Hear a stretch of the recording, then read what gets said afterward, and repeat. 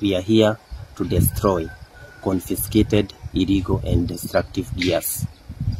Today, after getting the court order from the Chief Magistrate uh, Bodo Court on 20th September, we have gathered here in this ceremony of destroying a total of 37 illegal gears. These gears composed of uh, 14 beach scenes. We have uh, 7 abugrus and uh, 18 uh, monofilament, uh, making a total of 37 illegal gears. Now these gears were confiscated uh, by Kenya Fishery Service in jointly with our BMUs network and also the Fisheries Department in Siaya County, in uh, Rarieda Sub-County and also Bodo Sub-County.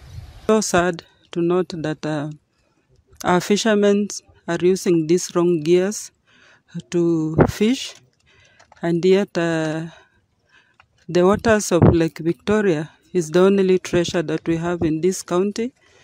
Uh, it is so, so unfortunate as they use these wrong gears, they end up clearing even the young fish that is not worthy to be removed from the lake.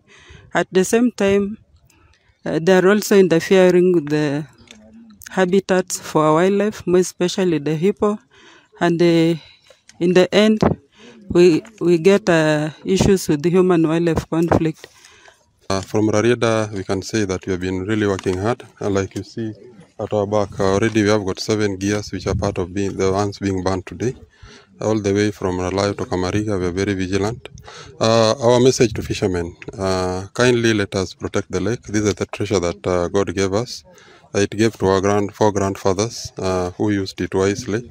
We are supposed to use it today and uh, be able to pass it to our next generation, even to our children. And if at all we continue with these illegal gears which is sweeping everything from the lake, uh, the way it was mentioned earlier, even the juvenile fish, in future definitely we will not be able to have the lake. Let us use our resources to buy the right nets so that we can invest in future.